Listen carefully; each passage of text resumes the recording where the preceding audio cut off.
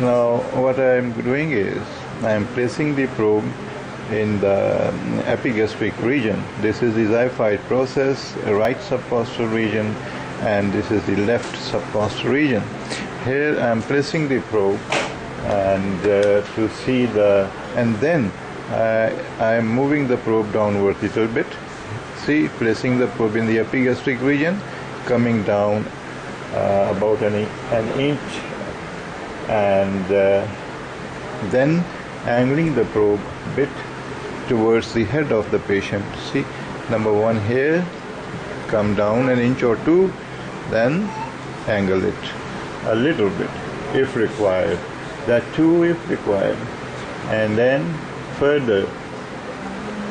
Now what is, when you place the probe in the epigastric region and uh, then move it downwards if required, then angling a little bit you will get the pancreas with splenic vein and when you will angle it a bit more towards the head of the patient you will get the celiac axis the splenic artery and the common hepatic artery together. Now let's see it on the uh, uh, on the um, ultrasound uh, machine here now I have placed the probe at the epigastric region. I'm not seeing the pancreas.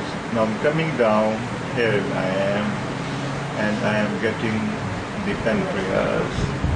And now I'm going to angle it a bit towards the patient's a little bit, not more. And if you get straight away, uh, if you straight away get the uh, splenic vein with the pancreas, it's okay. You don't have to do anything. But if you require it, then you can angle a little bit towards the uh, head of the patient.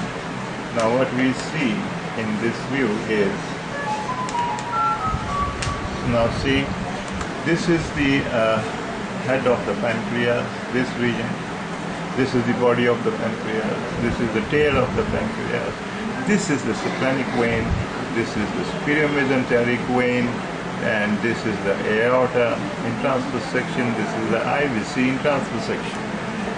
Now keeping the probe over here I'm going to uh, move the probe towards the patient's head a little bit. Now I will get both you see I get the splenic artery along with the common hepatic artery not a good view. This one is a better one. See now, by doing so, this is the body of the pancreas.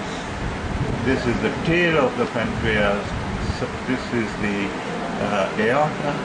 And here you are seeing that this vessel is the artery. This is not the splenic vein. And uh, it's, moving, it's running towards the left side. And on the right side, what you are seeing is the common hepatic artery both of these vessels they uh, originate from the celiac axis.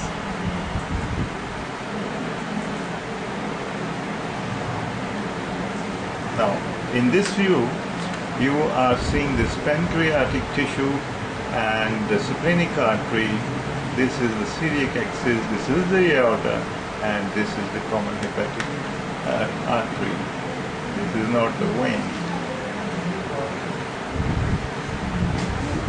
So I was asked to, uh, what I am showing uh, for the beginners on, uh, see, this is a relatively better view, showing you the aorta, this is the uh, celiac axis, hepatic artery, and the common hepatic uh, artery.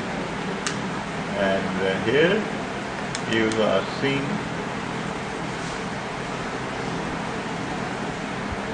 Now, one thing more to see. See, this is the uh, body of the pancreas. This is the splenic vein. This is the uh, superior mesenteric vein. This is the superior mesenteric artery uh, having echogenic border in transverse section. And here you are seeing uh, aorta in transverse section. And this vessel is the left uh, renal vein. Because left, left renal vein uh, runs between the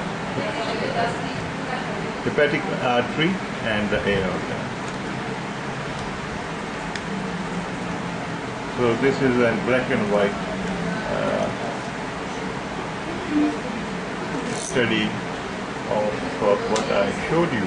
And you see that this is the superior mesenteric artery, this is the aorta, this is the left renal vein, and it's crossing between the aorta, superior artery, and then it will end into the IVC. So thank you very much.